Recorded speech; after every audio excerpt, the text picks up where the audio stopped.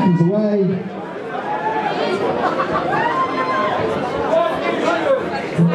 Round one.